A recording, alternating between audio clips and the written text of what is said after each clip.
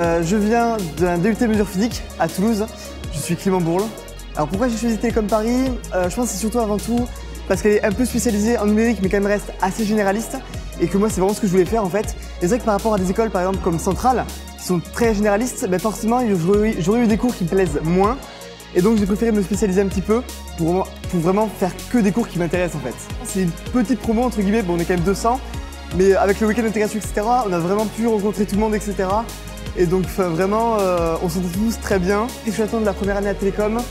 Déjà, je pense que j'ai envie de faire euh, plein d'asso- plein d'associations, plein de rencontres aussi, et euh, quand même travailler. Comme je viens de euh, commencer à chercher des entreprises. Il y a l'alternance en fait. La première année, elle est normale, et ensuite, à partir de la deuxième et la troisième année, en fait, sera en alternance.